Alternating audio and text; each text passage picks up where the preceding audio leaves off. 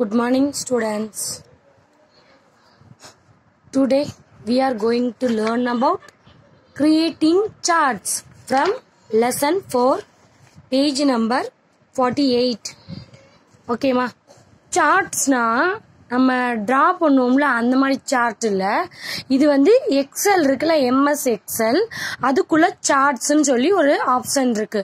முதல் சார்ட்டோட டெஃபினேஷன் என்ன கொடுத்துருக்காங்கன்னா a chart is a graphical representation of data அப்போ நம்ம எக்ஸல்ல என்னெல்லாம் பண்ணுவோம்? ஒரு ரிப்போர்ட் கார்டு டைப் பண்ணுவோன்ற மாதிரிலாம் சொல்லியிருக்கோம்ல நம்ம.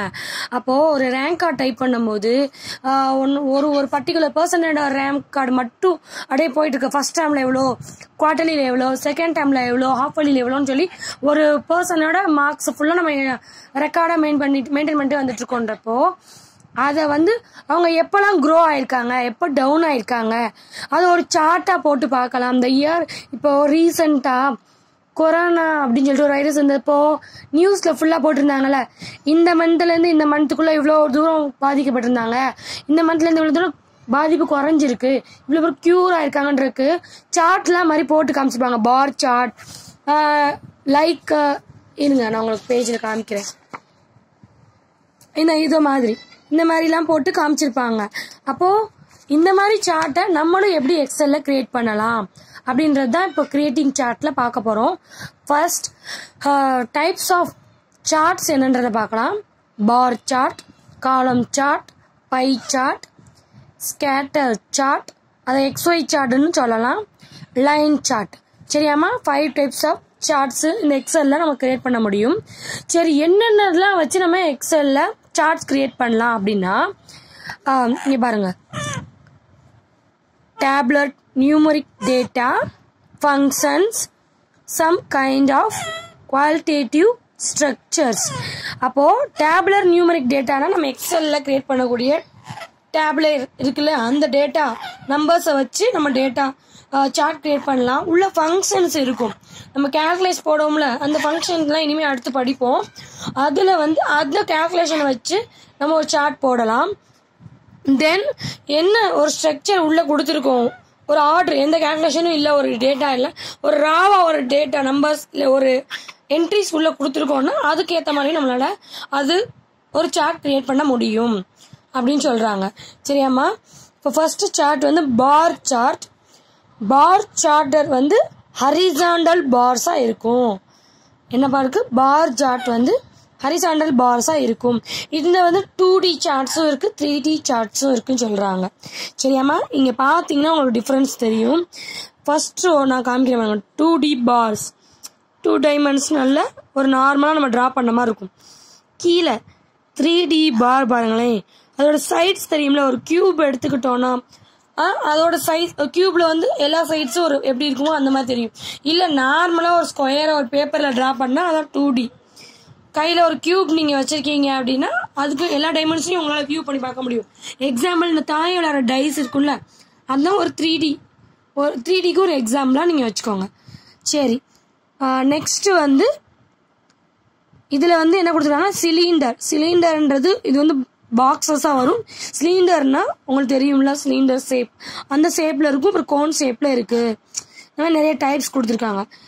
நெக்ஸ்ட் வந்து காலம் சார்ட் இது வந்து பார் சார்ட் மாதிரியே தான் இருக்கும். பார் சார்ட்டுன்னு நம்ம வெறுமனே கொடுத்தோம்னா அதில் ஹரிசாண்டல் பார்ஸ் ஹரிசாண்டலாக தான் எல்லாமே கிரியேட் ஆகும். இதே காலம் சார்ட்டுன்னு கொடுத்தோம்னா நம்மளுக்கு காலம் வைஸ் கிரியேட் ஆகிற மாதிரி வேர்ட்டிக்கலாக நம்மளுக்கு அதே தான் அப்படியே கிரியேட் ஆகும்.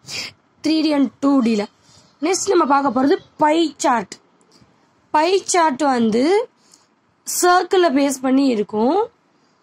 Pie chart contain just one chart series சார்ட்ல என்னன்னா பை நீங்கள் உங்களுக்கு இமேஜ் பார்த்தீங்கன்னா உங்களுக்கு புரியும்.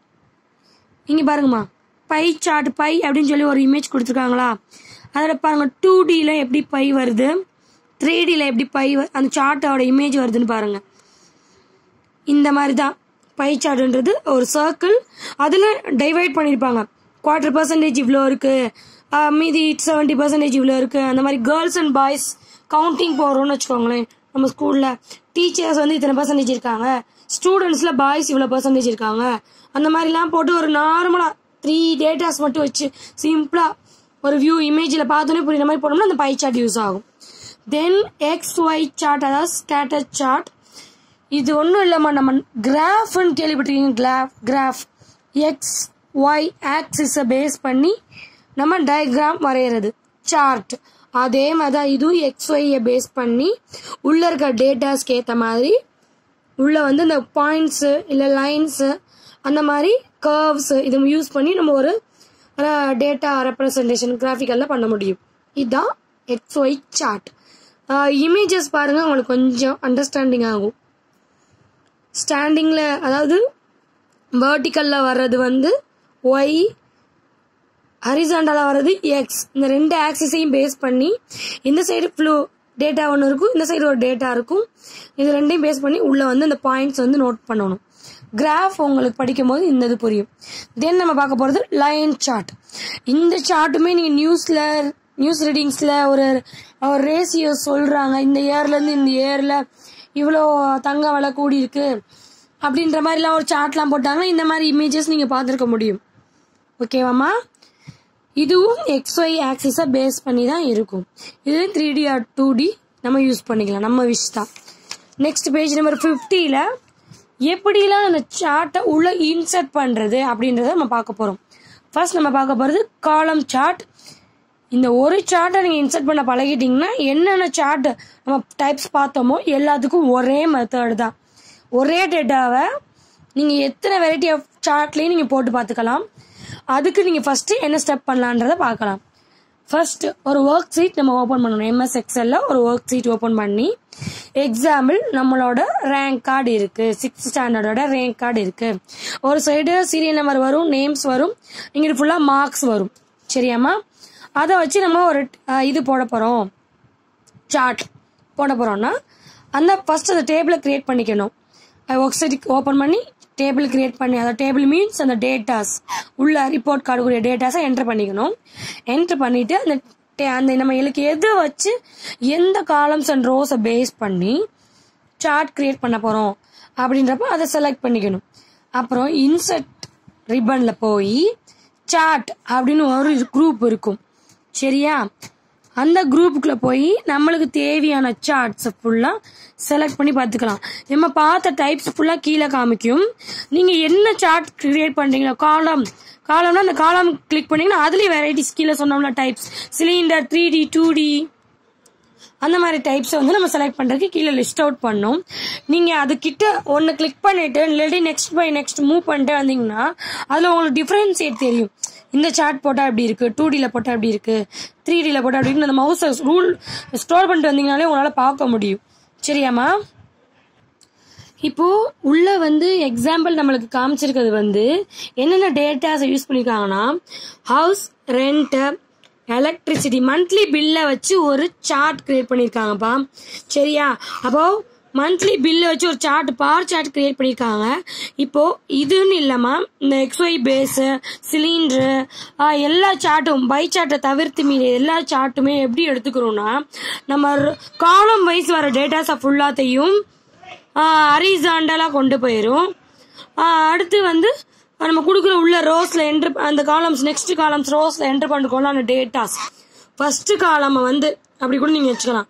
ஃபஸ்ட்டு காலம்ல நீங்கள் கொடுக்குற டேட்டாஸை ஃபுல்லாத்தையும் ஹரிசாண்டல் கொண்டு போயிடும் நெக்ஸ்ட் வந்து டேட்டாஸ் உள்ள ரோஸில் என்ட்ரு பண்ணியிருப்போம் இல்லை காலம்ஸ் என்ட்ரு பண்ணிருப்போம் நெக்ஸ்ட் வரது ஃபுல்லாத்தையும் வேர்ட்டிக்கலாக கொண்டு போய் ஒரு டேட்டா மாதிரி கிரியேட் பண்ணிக்கும். இப்போ பாருங்க ஹவுஸ் ஸ்ட்ரென்த்து இதில் வந்து நாலு கலர்ஸ் வந்திருக்குன்னா நாலு ரோஸா சாரி நாலு காலம்ஸில் வந்து இவங்க வந்து என்டர் பண்ணிக்காங்க ஜனவரி மந்த்துக்கு இவ்வளோ பிப்ரவரி மந்த்துக்கு இவ்வளோ மார்ச் ஏப்ரல் இந்த மாதிரி ஃபோர் மந்த்ஸுக்கு அவங்க வந்து இந்த ஹவுஸ் ரெண்ட் எலக்ட்ரிசிட்டி பில் இந்த மாதிரிலாம் மந்த்லி பில்லை வந்து என்ட்ரு பண்ணி இருந்திருக்காங்க அதனால தான் இங்கே நாலு கா ஃபோர் கலர்ஸ் காமிக்குது.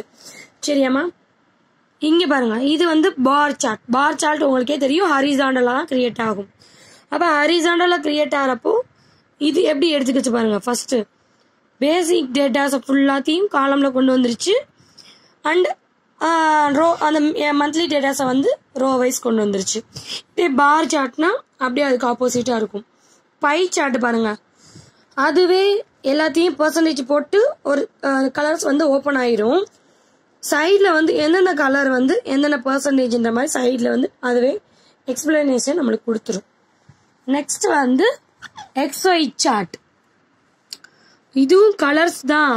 ஆனால் வந்து எக்ஸ்ஒய் பேஸ் பண்ணி வருது இல்லைம்மா பாருங்கள் series one series two series three series four இது எல்லாமே இப்போ நம்ம உள்ளே கொடுத்துருக்கோம் பார்த்தீங்களா ஹவுஸ் ரெண்ட் அதே டேபிளுக்குரிய எக்ஸ்ஒய் சார்ட் தான்.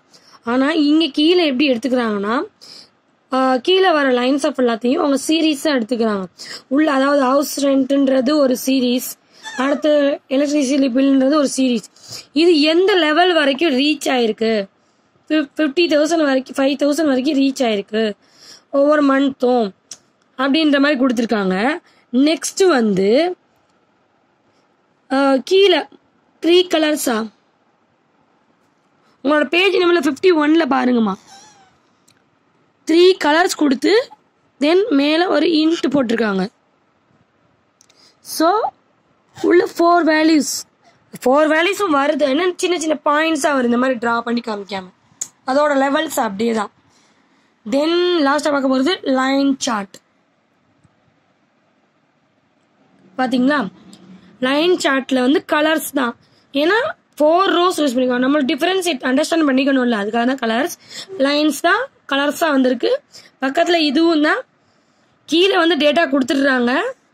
சைடில் காலம்ஸ்லேயும் நம்மளோட வேல்யூஸை கொடுத்துட்றாங்க. அப்புறம் லைன் போகிறது வந்து நம்ம கரெக்ட் பண்ணி பார்த்துக்கலாம். First line series one house rent second data series two electricity இந்த மாதிரி அந்த கலர்ஸோட லைன்ஸை வச்சு நம்ம அண்டர்ஸ்டாண்ட் பண்ணிக்கணும். இந்த மாதிரி டேட்டாஸ் சரி இன்னைக்கு சார்ட்டோட கிளாஸ் ஓவர் தேங்க்யூமா